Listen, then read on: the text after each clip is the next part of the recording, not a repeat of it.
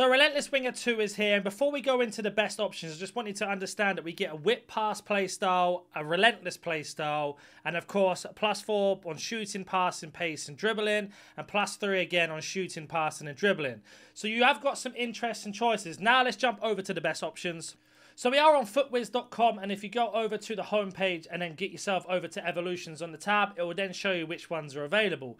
Now the good thing about this, it also tells you the most popular that people are choosing. Doesn't always mean the best, but definitely up there with suggestions. Now I'm going to turn this just for men at the moment and put this in Premier League as well. Because we're going to have a look at Premier League first. And there are some really good options in Premier League as we apply the filters. You can see here, I think Bailey is a fantastic choice. Gives him 94 pace, 84 shooting, 80 pass. Not only can he play winger, he can play striker as well. High-low work rates with the 4-star, 3-star.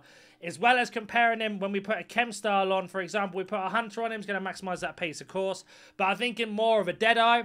Maximize that shot power, get that pass, that makes him into a 90 rated winger, a 91 centre forward, and an 87 striker. For a card that you can do for free and then level him up, that is a fantastic choice to go for. You are looking for ones with pace because you don't get much of a pace boost, and we have got Madueke as well, who's also a very good example.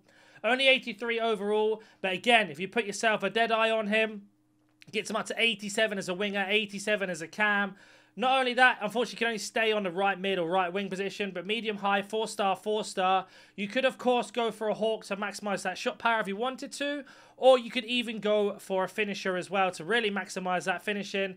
Gets him around 87. I don't think he is the best of the best choice, but he's definitely up there with some good ones. Doku is another one, or Doku is another one, is a really, really good choice, who I think I'm personally going to go for. And again, if you put a dead eye on him, maximizes that finishing to 85. Shot power to 94. Again, 87 rated winger, 87 cam. Can only play right wing, no other position. Medium, medium is a little bit meh and 4 star, 3 star. But I've used his team of the week, and his team of the week was absolutely fantastic. And this card is going to be very, very similar. If you didn't like Deadeye, of course, you go for the Hawk to maximize that shot power and boost up that sprint speed and acceleration. But I do think it's wasted. You could also go for a Maestro if you want to make it more passing with the whip pass. Again, short pass going up to 85. Long pass going to 75. On top of that, again, going back to the Prem, You've got yourself an Elliott, even a Kluivert if you're looking for a Dutch link, left mid, right wing, or right mid. Four star, four star. Good links as well from being from the Netherlands. You can see here he's into an 83 rated, but if we go for the same thing with a Deadeye again, gets him up to 87 rated and 86 striker, or sorry, centre forward or cam. Really good agility and balance as well. Medium, medium is a little bit frustrating for a winger. But again, if you're playing like a 4-2-3-1 system where he's got to come back and defend, it's not too bad. 4-star, 4-star is also nice. Now, stop right there with the introduction of kits, tokens, and now evolutions needed FC points or coins to complete them. There is no better time than to head over to IGDM.com Get yourself some coins, very, very cheap, fast, and reliable. Use discount code NANNIK at the store and get 5% off. The link will be in the description. If we get off the Premier League and we have a look at some other leagues that are available and we apply filters, you can go through anything. I know a lot of people are suggesting Doku. For me personally, I don't think he's fast enough, but that is also a very good shout. You have got Luka uh, Luki, uh, what's his name? Sorry, Luke. There you go. Got his name right eventually. Medium low. Again, high, four star, three star. Going for a dead eye seems to be a bit of a theme going on here. Makes him into an 89 centre forward, an 89 left or 88 left wing, right wing. If you have chosen the Belgium left mid from the season pass and Witsel and the Belgium centre back, he can play striker. So there's a really nice link to all four of those players together and a nice little sort of triangle if you want. But Luka Bakayoko is also a very good shout. Of course, you've got Pepe, but not the Arsenal version, so I'm not going to cover it. I really like Orsolini, or Orsolino, sorry. Orsolini even, I got his name right eventually. But again, it is a little bit like we've had him a couple times in upgrades. These cards are getting very, very similar. Pedro Neto is also a very good shout going back to the Prem. So we scroll through here. Is there any other secret gems that I might have missed? The uh, the final player looks okay, nothing crazy. PSG could be a good shout if you're running a PSG team. Again, doesn't look the best.